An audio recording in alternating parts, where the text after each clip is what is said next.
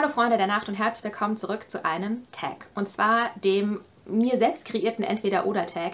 Den gibt es so oder so ähnlich auf anderen Kanälen bereits schon, aber ich habe mir eigene Fragen ausgedacht, die sich natürlich mit den Fragen von anderen teilweise überschneiden, aber das sind glaube ich nur so zwei, drei Stück.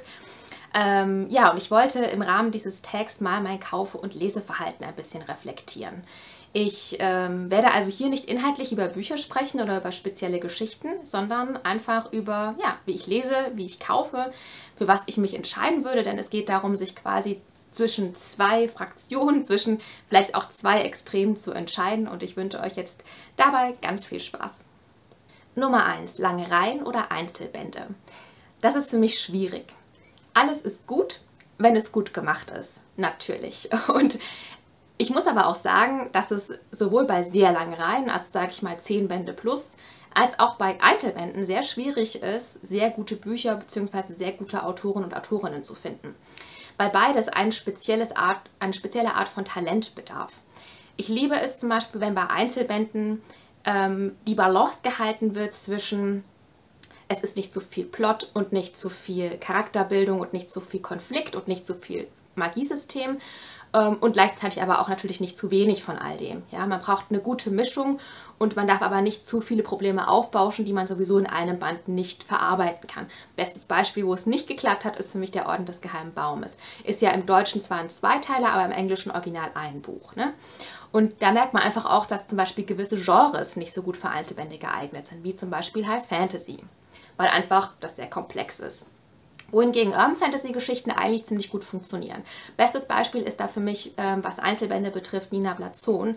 Eine, ich glaube, es ist eine deutsche Autorin, es ist aber auf jeden Fall eine deutschsprachige Autorin, die es immer wieder schafft, genau den richtigen Punkt zu finden und genau das richtige Maß, wenn es darum geht, eine magische Geschichte mit leicht romantischen Elementen, aber auch viel Action-Elementen, mit teilweise düsteren Elementen in ein Buch einzubauen und da aber auch noch ein gutes Ende draus ziehen zu können. Finde ich total toll.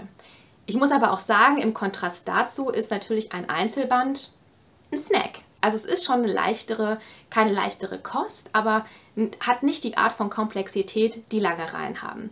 Und deswegen würde ich mich an dieser Stelle auch für lange Reihen entscheiden. Ich habe sehr viele lange Reihen in meinem Regal. Für mich, ich feiere Geschichten, wenn sie einfach zehn Bände plus haben. Das ist so, weil die mich dann lange Zeit in meinem Leben begleiten vor allem, wenn es auch noch so ongoing Geschichten sind, wie zum Beispiel die Gilde der Jäger von Alini Singh.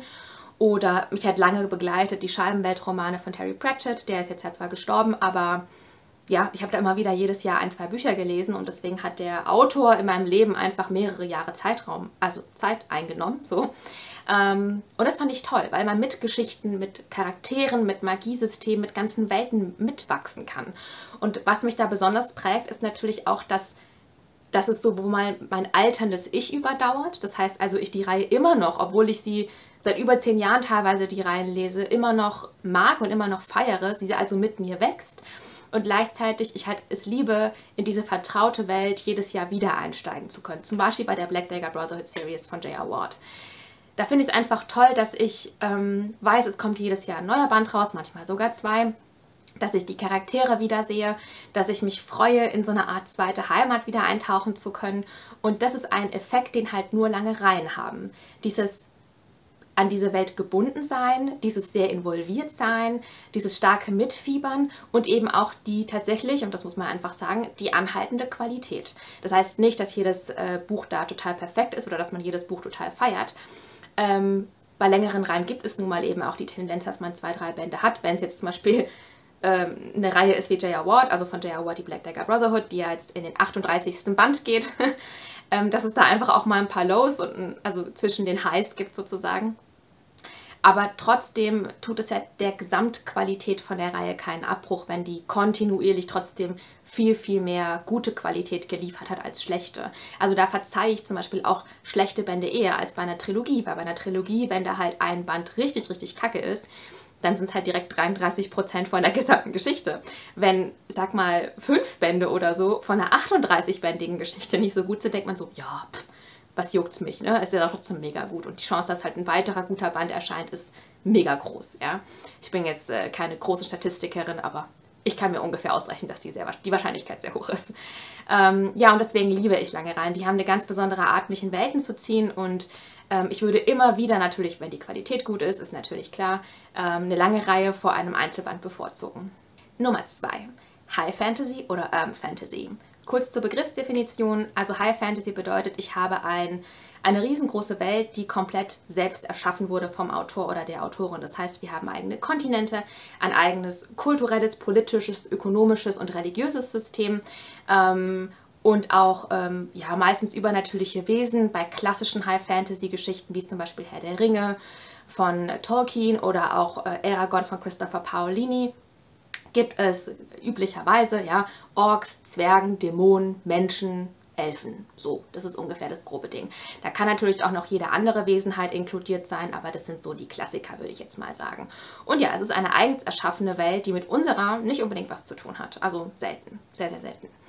Und Urban Fantasy ist genau das Gegenteil davon. Das heißt, wir haben unsere Welt, so wie wir sie kennen, mit all den technischen Errungenschaften, die wir auch kennen und der Unterschied ist, dass ähm, es aber zusätzlich eine Art Parallelgesellschaft gibt oder ein zusätzliches Element, wie das Element der Magie, das in unsere Welt eingebaut wurde.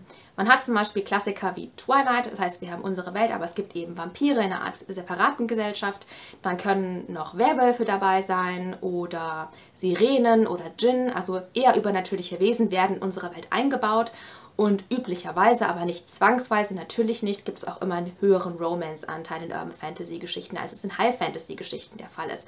Vielleicht auch, wenn man in High Fantasy-Geschichten halt viel mehr Worldbuilding betreiben muss. So, also der ungefähre Tonus ist genau der. Und ähm, ich entscheide mich in dem Fall für, und ich habe wirklich lange überlegt, ja. Ich wollte mir natürlich auch schwierige Fragen stellen, aber ich entscheide mich für die High Fantasy. Denn ich finde, gerade dieser krasse und dieser sehr beeindruckende, große kreative Schaffensprozess, der von High Fantasy einfach gefordert wird, der beeindruckt mich. Und es ist für mich nochmal eine ganz andere Hausnummer, sich wirklich alles selbst auszudenken, magische Gesetzmäßigkeiten, religiöse Systeme, eigene Währungen, eigene Religionen als quasi die Welt zu nehmen, die wir schon haben. Ist natürlich praktisch, wenn man sich nicht so viel ausdenken muss und damit ist es vielleicht auch zugänglicher für viele Menschen, weil man halt sich auch nicht so viel an Details und an Infos merken muss, um gut in eine Welt einsteigen zu können. Aber trotz dessen, dass die Schwelle bei High Fantasy an Anforderungen viel höher ist, ist so der Mehrwert, wenn man es denn geschafft hat, dort einzusteigen, ähm, auch viel, viel höher. Also wenn ich da mal alles verstanden habe und wenn ich mal irgendwie durchgeblickt habe, wie da alles funktioniert, wer die Charaktere sind, wer ist wichtig, wer ist reich, wer ist arm, wer ist mächtig, wer ist nicht mächtig, ähm, und so weiter. Und was hat, der, was hat die Wirtschaft da für einen Einfluss auf die Religion und was hat die Religion Einfluss da auf, auf, die, auf die Regierung zum Beispiel. Und da drin bin, dann, ähm, ja, dann bin ich mit meiner, mit meiner ganzen Seele in dieser Geschichte und dann tendiert es auch eher dazu, dass es vielleicht sogar ein Jahreshighlight wird. Und gerade eben, weil sich so viel ausgedacht werden muss und weil da so viel Herzblut auch reingesteckt werden muss und so viel Arbeit und so viel Blut, Schweiß und Tränen, ähm, honoriere ich einfach diesen Schaffensprozess noch ein klein wenig mehr als bei Urban Fantasy. Das ist keine Abstufung an dieser Stelle. Das heißt auch nicht, dass es keine guten Urban Fantasy Geschichten gibt. Ganz im Gegenteil, ich habe sehr viele Lieblingsautorinnen und Autoren, die Urban Fantasy Geschichten schreiben und ich liebe diese eben auch. Aber ja, für mich hat das ähm, einfach nochmal eine andere Schlagkraft so von dem, was an Anforderungen an eine Geschichte gestellt werden. Und ja, ich muss auch sagen, viele meiner Lieblingsautoren, wenn ich jetzt so über mein Regal gucke, das sind schon auch High-Fantasy-Geschichten. Nummer drei, morgens, mittags oder abends lesen. Ja, also ich bin definitiv eine Abendsleserin, Schrägstrich Nachtsleserin, weil ich ja unter der Woche einen 9-to-5-Job habe, also ich muss meine Brötchen verdienen und auch meine Miete und deswegen komme ich tagsüber einfach überhaupt nicht zum Lesen. Meine Mittagspause beträgt auch nur 30 Minuten, da schaffe ich es gerade mal so ein bisschen Essen in mich reinzuschaufeln und das war es dann auch.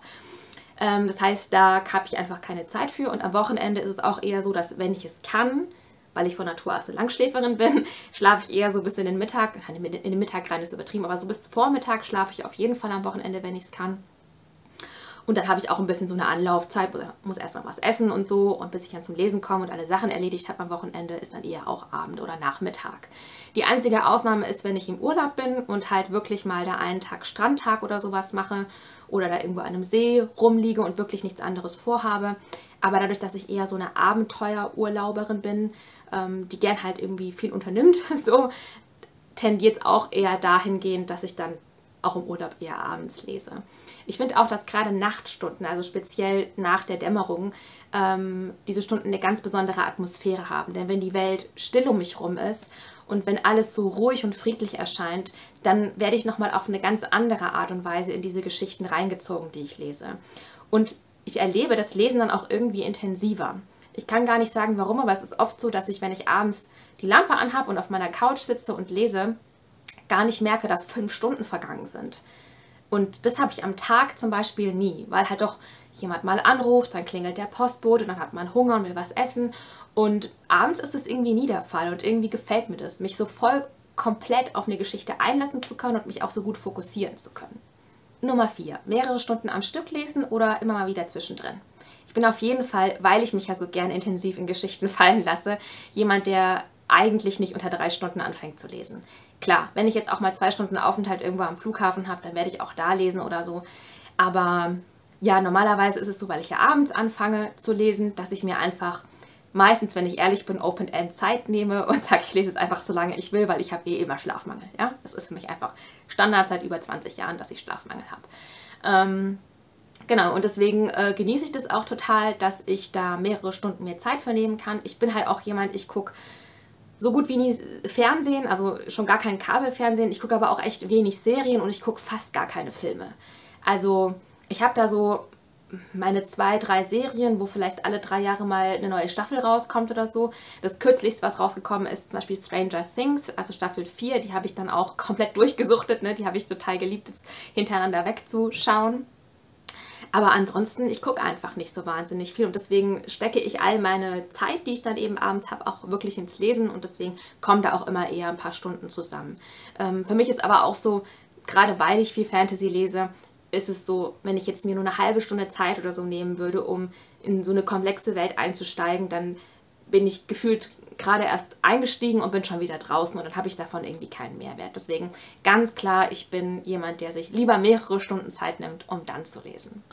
Nummer 5. Drinnen oder draußen lesen. Ich bin auf jeden Fall jemand, der Stille, Ruhe und die völlige Abwesenheit von Menschen braucht, um zu lesen. Ähm, das hat damit zu tun, dass mich ganz, ganz viele Kleinigkeiten nerven. Das ist wahrscheinlich auch übertrieben, aber wenn jemand hustet im Raum, dann bin ich raus. Ich weiß nicht, warum das so ist. Das Einzige, was ich akzeptieren kann, sind Tiere um mich rum. Das finde ich völlig okay. Aber alles andere ist für mich irgendwie störend. Deswegen lese ich tendenziell eher drin. Aber wenn ich mich jetzt irgendwo abgelegen mal an den See lege oder wenn ich im Urlaub am Strand liege, dann werde ich da auch lesen. Ja? Also, weil ich dann auch lesen muss, sonst will ich kann ich den ganzen Urlaub nicht lesen. Das wäre für mich ein Unding. Das funktioniert nicht.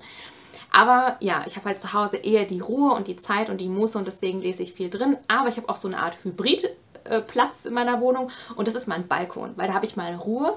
Da kann ich auch so ein bisschen in die Natur rausschauen und ähm, das finde ich eigentlich ganz schön, weil man hat so den Komfort von zu Hause, die Nähe zur Toilette, die Nähe zum Essen und gleichzeitig eben doch dieses Gefühl draußen zu sein. Nummer 6. An Büchern schnuppern oder nicht? Die Frage musste ich mit reinnehmen, weil ich Leute suche, die genauso verrückt sind wie ich. Ich liebe es, an Büchern zu schnüffeln. Ich mache das immer dreimal eigentlich, wenn ich ein Buch kaufe. Und zwar, wenn ich es gekauft habe, wenn ich es zu Hause kurz nach den Neuerscheinungen vorstelle und wenn ich es gelesen habe. An den drei Punkten schnüffel ich immer an meinen Büchern. Ich weiß nicht, warum das so ist. Das, das plane ich auch nicht, das passiert einfach automatisch. Und es ist mittlerweile so krank eigentlich schon, dass ich sogar Verlage unterscheiden kann von der Art, wie viel Chloranteil zum Beispiel in dem Papier ist, was für Papier benutzt wird, also Recycling oder normales Papier. Das riecht man einfach. Das klingt total verrückt, ich weiß. Aber ich liebe das. Ich liebe das, an Büchern zu schnüffeln. Für mich hat das einen ganz eigenen Geruch. Für mich haben auch Bibliotheken einen ganz eigenen Geruch. Nummer 7. Das Thema Sub. Bist du oder bin ich vielmehr Fraktion hoch hinaus oder weniger ist mehr? Ja, ich bin auf jeden Fall jemand, den es nicht so wirklich interessiert, wie hoch mein Sub ist. Ich zähle das ja auch schon nicht und ich habe das auch nirgendwo festgehalten. Ich wollte mal so einen Goodreads-Account erstellen, aber irgendwie habe ich dann nach gefühlt 300 Büchern keinen Bock mehr gehabt, die alle zu scannen. Ich habe einmal eine Zählung durchgeführt, da war ich ungefähr bei 2000 Büchern und ungefähr bei, ich glaube, knapp 300 zu 280 Büchern auf dem Sub. Ich glaube, dass es ungefähr weiterhin so ist. Natürlich ist es eine hohe Zahl, sowohl an Büchern zu Hause als auch an Subbüchern. Aber mich stört das nicht. Mich würde aber auch nicht stören, wenn der Sub 10, 10 Bücher auf dem Sub 10 Bücher sind. So. ich gehe mit dem Thema einfach sehr entspannt um. Ich muss es mir leisten können, ich muss irgendwo auch noch Platz haben, deswegen sortiere ich ja auch regelmäßig aus und es muss halt, es darf keine Belastung für mich sein und das ist es einfach auch nicht. Ja, und deswegen bin ich, glaube ich, eher, wenn ich mich entscheiden müsste, Thema hoch hinaus, weil ich lieber mehr Auswahl habe als zu wenig. Ich bin ja so eine Spontanleserin, das heißt, ich kann keine Leselisten für mich erstellen, das funktioniert einfach nicht. Ich greife zu diesen Büchern sowieso nicht weil dann so ein kleines Trotzkind in mir hochkommt. Das ist, naja, ein anderes Thema. Und ähm, deswegen ist es immer gut, eine breitere Auswahl zu haben, sodass ich dann auch wirklich das Buch da habe, auf das ich dann auch Lust habe. Und ja, deswegen, ähm, ich gehe damit eigentlich sehr entspannt um, aber ich kann auch verstehen, wenn jemand sagt, äh, mich nervt es voll und ich werde sowieso nicht mal alles lesen können. Da gibt es wahrscheinlich auch halt eine Grenze. Also zwischen ein Buch auf dem Sub und 1000 Büchern auf dem Sub ist halt auch nochmal ein bisschen so ein, der, der goldene Mittelweg, ne? Und ähm, ja, deswegen stört es mich nicht. Aber wie gesagt, ich verstehe auch, wenn jemand das halt stört, wenn es Druck aufbaut bei jemandem. Nummer 8. Bad Boy oder Bad Girl? Ich wollte das unbedingt mit reinnehmen, weil ich finde, dass der Trope oder das Strickmuster eines Bad Girls viel zu wenig in Büchern thematisiert wird. Und wenn es thematisiert wird, wie zum Beispiel in All In von Emma Scott, dann wird es schlecht gemacht. Also ich mochte All In einfach von ihr nicht. Und ansonsten ist es halt immer eher der Bad Boy, ja, also der gut aussehende, muskulöse, sich auch irgendwie nicht gut benehmende Typ, der aber dann von der Frau geläutert wird und so und seinen, seinen inneren Gentleman entdeckt, so ungefähr. Mit dem kann ich gar nichts anfangen. Ich mag keine Bad Boys, weder in Büchern noch im echten Leben. Ähm, ich finde die oft arrogant, überheblich, egozentrisch und auch oft leicht narzisstisch. Und ähm, ja, deswegen bin ich auch eher dann Team Good Guy sozusagen, da immer das Gegenteil. Aber ich mag halt im Gegenzug witzigerweise eher die, ich sag mal, antipathischen weiblichen Protagonistinnen. Also ich mag das Good Girl nicht so richtig, so ich, ich, ich, rede jetzt in Klischees und Kategorien, ja. Ähm, die jungfräuliche, verschüchterte, mega intelligente, ganz besondere junge Frau, die unscheinbar ist für alle andere, aber dann nur von diesem einen Typ plötzlich gesehen wird, wie besonders sie ist und wie, wie äh, besonderer als alle anderen in ihrem Umfeld. Ne? Das ist natürlich auch immer wieder so ein Vergleich zwischen Frauen, den ich auch nicht mag, dass eine Frau hervorgehoben werden muss und alle anderen werden niedergemacht. Auch das finde ich einfach blöd. Aber ich mag halt das, das ähm, Thema oder das Konstrukt eines Bad Girls, weil die halt mit den Regeln bricht, weil die vielleicht auch eher maskuline ähm, Verhaltensweisen an den Tag legt. Maskulin auch hier jetzt wieder in stereotypischen binären Kategorien gedacht. Auch da gibt es natürlich, das ist alles fließend, also da gibt es irgendwie auch Grauzonen, ganz klar. Aber ja, ich mag das einfach, auch wenn Charaktere dunkel sind. Ähm, das heißt nicht unbedingt Bad Boys, sondern dunkle Charaktere, die vielleicht auch in moralischen Grauzonen sich bewegen. Beste Beispiel für ein Bad Girl ist auf jeden Fall Jude und auch Nesta. Jude ist aus die Elfenkrone-Trilogie und Nesta aus dem fünften Band jetzt mittlerweile der Reihe Das Reich der Sieben Höfe. Auch die Bücher kann ich alle empfehlen. Ähm, ja, aber ich mag das einfach und ich finde, das kommt leider Gottes viel zu selten in Büchern vor. Nummer 9. Lange ausführliche Videos schauen oder lieber kurze knackige Videos. Ich bin auf jeden Fall eher die Person, es merkt ihr bestimmt auch auf meinem Kanal, die lange labert, die viel labert und die sich auch gern ausführlich über Bücher auslässt. Ja, ich bespreche einfach Bücher und ich kann auch Bücher, glaube ich, auf keine andere Art besprechen, ausführlich und ähm, ja, lasst quasi alles auf die Welt los, was mir dazu so einfällt, weil ich finde, oder weil ich es selbst auch mag, solche Videos zu gucken. Also ich schaue gern lieber ausführliche, lange Videos. Denn für mich steht da so ein bisschen das Thema Transparenz und das Thema, wie gehe ich mit der Empfehlung, die jemand mir ausspricht, um. Ähm, ich versuche es mal ein bisschen zu begründen. Und zwar ist es für mich so, wenn ich wenn jemand mir sagt, oh, das Buch war mega toll, dann freue ich mich erstens für die Person und zweitens denke ich mir, warum? Erklär mir doch mal, warum du es gut findest, was fandest du toll, was fandest du schlecht. Und wenn dann jemand sagt, ja, da kam zum Beispiel das Strickmuster Dreiecksbeziehungen drin vor. Oder ähm, es gab das ähm, eine Haters to Lovers Geschichte. Also da wird so halt mit äh, Strickmustern ein bisschen gespielt. Ne? Und das und das mag ich halt sehr, sehr gerne. Also zum Beispiel des, den Trope oder Strickmuster Dreiecksgeschichte und ich fand aber auch noch relativ viel Drama drin, aber auch ein bisschen Witz. Gleichzeitig gab es den und den und den Konflikt, ähm, der gut aufgemacht wurde und zu meiner Zufriedenheit beendet wurde. Dann sind das alles Anhaltspunkte, die mir als Zuschauerin in dem Moment was bringen und ich ähm, daraus adaptieren kann, ist es auch was für mich oder nicht. Denn allein die Begründung, egal wie das Ergebnis ist, also das Ergebnis, mir gefällt das Buch oder mir gefällt das Buch nicht, allein die Begründung ist ja das, was für mich als Zuschauer essentiell ist. Also wenn ich jetzt weiß, okay, sie sagt, sie mag Dreiecksgeschichten, die Dreiecksgeschichte ist halt Thema in der Geschichte oder in dem Buch, das sie da gerade vorstellt oder eher dann weiß ich, okay, ich mag keine Dreiecksgeschichten, danke für die Info, ich lasse die Finger von diesem Buch. Und das ist genau dieser Effekt, den ausführliche Videos eher auf mich haben. Weil wenn jemand nur sagt, ich mag das Buch und das war's, ähm, weil es witzig war von mir aus, vielleicht noch mit einem Halbsatz, dann kann ich damit leider Gottes nicht so viel anfangen. Das heißt trotzdem, dass diese Videos ihre Existenzberechtigung haben. Das ist ja auch das Schöne an der Booktube-Bubble. Jeder findet so ein bisschen seinen Platz und seine Nische, wo er oder sie sich wohlfühlt. Aber ich bin auf jeden Fall jemand, der sich lieber zehn Sätze zu viel anhört, als auch nur einen zu wenig, sodass mir halt eine Rezension vielleicht gar nichts bringt. Und deswegen mag ich es. Ich mag es, wenn Leute ausführlich fangirlen über Geschichten. Ich mag es, wenn sie mir detailreich erklären, ähm, wie sie sich beim Lesen gefühlt haben, was diese Gefühle ausgelöst haben, ähm, wie sie vielleicht sogar auch Strickmuster durchschauen oder neue Dinge entdecken oder neue Gedankenansätze bekommen durch Bücher. All das kann man ja spoilerfrei in der Rezension sagen. Und deswegen, ja, ich, ich mache meine Videos einfach so, weil ich auch solche Videos gerne gucke. Nummer 10. Kaufverhalten. Coverkäufer oder nur der Inhalt zählt. Ich bin ein bisschen hin und her gerissen, weil ich würde lügen, wenn ich jetzt hier sitze und sage, ich hätte nie ein Buch wegen dem Cover gekauft. Das ist einfach nicht wahr. Ich habe schon einige Bücher wegen dem Cover gekauft. Ähm, muss ich mir jetzt eingestehen. Und ich bin zwar nicht mega oberflächlich, also es gibt auch sehr viele hässliche Bücher, die in meinem Regal stehen und die ich trotzdem liebe und die auch trotzdem in der ersten Reihe stehen dürfen. Aber ja, es gab auch Bücher, die ich auch immer noch hier, oder es gibt Bücher, die ich immer noch hier stehen habe und das rein aus optischen Gründen, obwohl ich die Geschichte nicht so arg mochte. Ist halt leider so, muss ich mir jetzt eingestehen. Trotzdem bin ich auf jeden Fall eher, also der Bereich der Inhalt zählt, ja. Natürlich ist es toll, wenn beides passt, wenn also beides irgendwie sich die Waagschale hält, das Cover hübsch ist, die Geschichte toll ist, dann bin ich vollkommen zufrieden. Aber mir bringt es halt nichts, wenn es einen schönen Umschlag hat und ich mich dann nur über das Buch aufrege. Bestes Beispiel ist zum, äh, zum Beispiel, das war jetzt ein bisschen sehr wiederholend, aber gut, ist ähm, einer der neuesten Reihen von Jennifer Blood and Ash. Da habe ich auch das Gefühl gehabt, oh, ist ein richtig tolles Cover. Mir hat das wirklich sehr gut gefallen. Das Cover ist einfach unfassbar toll. Aber die Geschichte war halt gar nichts für mich und deswegen ist es natürlich auch rausgeflogen. Also ja, der Inhalt ist schon das Wichtigste, die Geschichte muss passen. Am Ende des Tages, ja. Ich entscheide mich dafür. Nummer 11. Digitale oder haptische Ausgabe. Und da habe ich jetzt auch ein bisschen überlegt, weil ich bin auf jeden Fall jemand, ganz offensichtlich, der viel gebundene oder halt einfach viel gedruckte Bücher kauft. Ich mag es auch eben an Büchern zu schnuppern. Ich mag es sie in der Hand zu halten. Ich mag es übers Cover zu streicheln.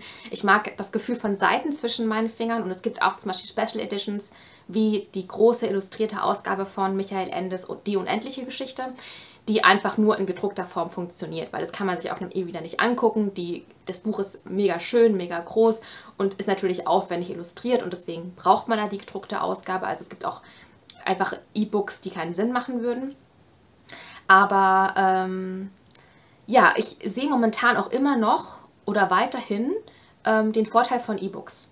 Erstens, es ist nachhaltiger. Zweitens, es ist viel leichter. Also nicht nur im Sinne von vom Gewicht her leichter, sondern auch von der Einstellung, was die Schriftart betrifft oder die Schriftgröße. Also das ist einfach viel angepasster an jedes individuelle Bedürfnis. Dann ist natürlich auch drittens ein E-Book-Reader viel leichter. Man kann viel mehr Bücher mit sich rumschleppen und zwar die ganze Zeit permanent. Ähm, ja, man muss auch keine Angst haben, dass dann das Buch irgendwie kaputt geht, einen Wasserschaden hat oder sonst irgendwas. Klar, das Gerät kann kaputt gehen, aber üblicherweise werden ja bei diesen E-Readern die ganzen E-Books in der Cloud gespeichert. Wenn man sich also ein neues Gerät zulegt, dann kann man sich alle E-Books einfach wieder runterladen auf das entsprechende Gerät. Also ich sehe sehr, sehr viele Vorteile. Für mich ist ein bisschen so das Leseerlebnis einfach das, was die gebundene Ausgabe immer noch attraktiver macht. Ich muss aber auch gestehen, gerade wenn ich jetzt abends im Bett liege und lese und dann irgendwie so mit dem Kopf auf der Seite bin, ist es schon sehr anstrengend, so ein Buch zu halten. Und dann irgendwie schläft der Arm ein, dann ist der Arm taub und man denkt sich die ganze Zeit, oh, ist voll unbequem. Wenn man aber einen E-Reader hat, kann man sich den einfach auf den Bauch legen, ja, so aufstellen, so quasi, jetzt, Moment, so. Ich kann es schlecht zeigen, so, so.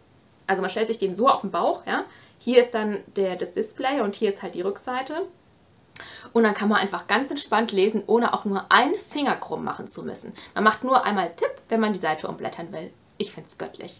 Und ich habe jetzt in letzter Zeit einfach, weil Bücher recht günstig als E-Book verfügbar waren, auch ein paar E-Books gelesen und habe das Leseerlebnis tatsächlich auch sehr genossen, einfach aus reiner Bequemlichkeit. Und auch wenn ich jetzt zum Beispiel viel, weil es hier heiß ist in letzter Zeit, am See liege und so, bin ich auch eher Printausgabetyp. Ja? Also dann nehme ich einfach den E-Reader mit und denke mir, ich hätte da sowieso noch E-Books drauf, die ich lesen möchte, dann nehme ich doch jetzt einfach mal das. Genau.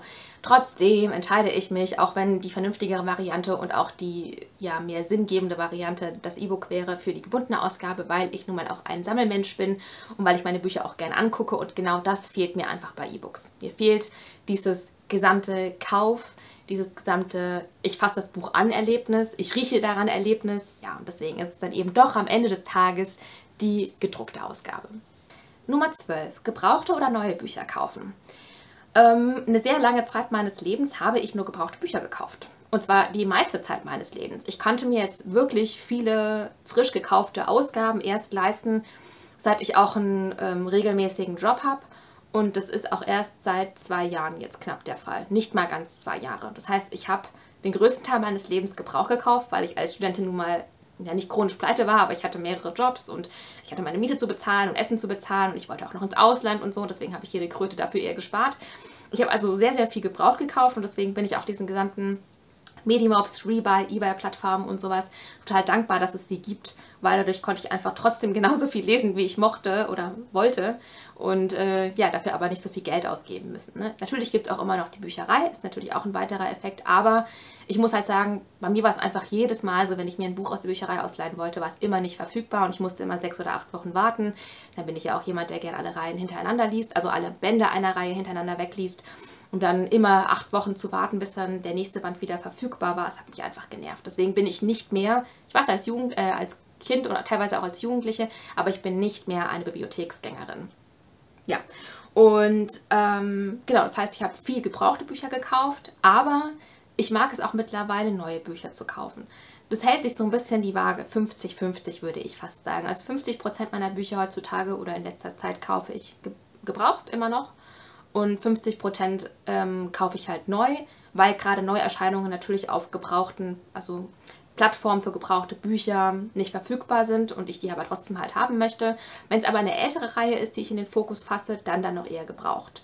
Und dazu kommt, dass ich eben auch einige lange Reihen habe, die ich jetzt immer noch weiterhin Stück für Stück vervollständigen möchte, die ähm, es nur gebraucht noch gibt. Zum Beispiel die alten Ausgaben der Scheibenweltromane oder so ein, ewiger Frustfaktor bei mir.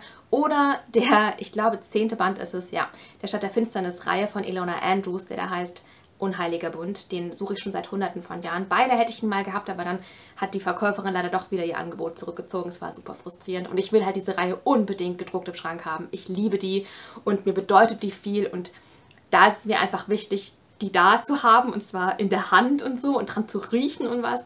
Ähm, und da kaufe ich halt dann zwangsweise immer gebraucht. Äh, wenn ich mich jetzt entscheiden müsste, ob ich mit meinem Rest meines Lebens nur noch gebraucht oder nur noch neu kaufen dürfte, würde ich halt definitiv sagen gebraucht. Klar, Bücher haben dann auch manchmal irgendwie einen Kratzer oder eine, eine Macke an der Ecke oder halt diesen obligatorischen Mängelexemplarstempel, aber das stört mich nicht. Ich bin nicht so total empfindlich, was Bücher betrifft.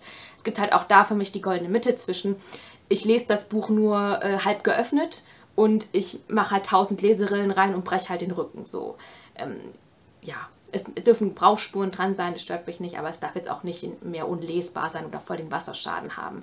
Und tatsächlich hatte ich das jetzt bisher noch nie bei keinem der gebrauchten Portale, äh, der Ge Portale für gebrauchte Bücher so. Ja, und ähm, allein wegen dem Geldfaktor, aber auch wegen dem Nachhaltigkeitsfaktor würde ich mal dann jedes Mal für gebrauchte Bücher entscheiden und lieber ein bisschen länger warten, bis dann auch die auf diesen Plattformen verfügbar sind. Die letzte Entscheidung Nummer 13. Online oder offline kaufen. Damit meine ich, ob man aktiv in die Buchhandlung geht und dort seine Bücher kauft oder auch vorbestellt und dort abholt oder ob man es eher online macht auf den bekannten größeren Plattformen oder halt auch über, ja, ich sag mal Secondhand. Ne? Es gibt ja sowohl Antiquariate, wo man kaufen kann, als auch die üblichen Plattformen wie Rebuy, Medimobs, ähm, Booklooker und so weiter. Und das meine ich quasi mit dieser Fragestellung oder mit dieser Entscheidungsstellung. Und ich würde mich immer für das Offline entscheiden. Natürlich nutze ich auch Bücher oder ich nutze das Angebot, Bücher online kaufen zu können, auch online vorbestellen zu können. Ich nutze es sehr intensiv, aber für mich ist es trotzdem wichtig, die kleinen Buchhandeln, die kleinen Buchhandlungen so die in den Vororten verstreut sind, in verschiedenen Städten oder auch in der Innenstadt immer noch zu unterstützen, damit die halt nicht komplett kaputt gehen. Ich finde, da gibt es auch so ein bisschen ein Hybrid-Ding oder so ein Hybrid-Konzept und das ist halt, dass diese Buchhandlungen ja auch ähm, Online-Seiten haben, wo man Bücher bestellen kann. Also heutzutage muss man, um kleine Buchhandlungen zu unterstützen, ja gar nicht mehr in die Buchhandlung reinlaufen.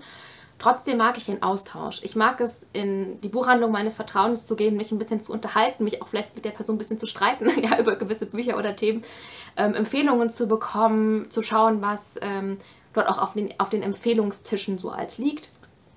Und einfach so ein bisschen rumzustromern, was der Markt so bietet. Ja? Und dann auch noch Zeit zu verbringen. Ich finde, es hat so fast was Meditatives für mich. Ich bin auch immer gern ungefähr eine Stunde bis anderthalb Stunden im Buchladen. Ich finde es einfach total schön, da Zeit zu verbringen und mal ein bisschen rumzuentdecken, was es halt einfach gibt. Und äh, für mich ist es auch so eine Art ähm, Entschleunigung, weil wenn ich halt Bücher online bestelle, dann mache ich das mal zwischendrin, wenn ich Zeit habe in meiner Mittagspause oder wenn ich irgendwo beim Arzt sitze im Wartezimmer und so nichts Besseres zu tun habe, dann bestelle ich Bücher. Und das ist halt irgendwie, ich weiß nicht, da geht so ein bisschen dieses, dieses Kauferlebnis von haptischen Büchern verloren. Das ist natürlich jetzt auch wirklich nur für gedruckte Ausgaben ein Thema, für E-Books ja nicht, weil warum soll ich in die Buchhandlung gehen, um ein E-Book zu kaufen? Kann ich mir einfach runterladen. Ja, aber ich, ähm, ja, ich will auf jeden Fall eher, ich, ich gehe auch eher online, äh, offline kaufen. Also ich gehe eher in die Buchhandlung, da würde ich sagen, generiere ich so 80% meiner Neuzugänge raus und die restlichen 20% sind halt Neuerscheinungen bzw. vorbestellte Bücher, aber ja ich mag das. Ich mag das, dass dann auch irgendwie ein bisschen was Soziales dabei ist, wohingegen halt der Kaufprozess online, wenn man das bei irgendwo einer Plattform macht, halt doch irgendwie sehr ähm, antisozial ist. Also nicht im Sinne von, dass man nicht, nicht sozial sein kann, sondern eher, dass es halt gar keine Sozialität mit sich bringt. Und das finde ich ein bisschen schade. Genau. So, das waren meine 13 Challenges, Fragen, Aufgaben, wie auch immer. Natürlich würde ich mich freuen, wenn ihr Lust hättet, in den Kommentaren auch ein, zwei Challenges hier zu beantworten und vielleicht auch zu begründen. Ähm, und ansonsten bleibt mir jetzt als letzten Akt in diesem Video nur noch zu taggen. Und zwar tagge ich drei Personen. Einmal die liebe Ruth von Zwischen 1000 Zeilen. Die hat zwar schon einige äh, Videos über ihr Leseverhalten gemacht, aber es würde mich freuen, wenn du Lust hättest, auch über dieses Video irgendwas zu machen oder das, den Tag einfach zu machen.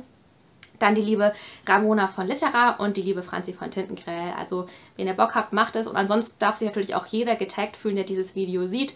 Ihr seid alle angesprochen, jeder einzelne von euch. Ja, und ansonsten bleibt mir wie immer nur noch zu sagen, danke fürs Zuschauen, bis zum nächsten Mal, macht's gut und tschüss.